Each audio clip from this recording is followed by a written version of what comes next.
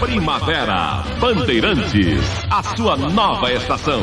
Vem aí Ciclone, uma implacável fúria da natureza. Inédito na TV.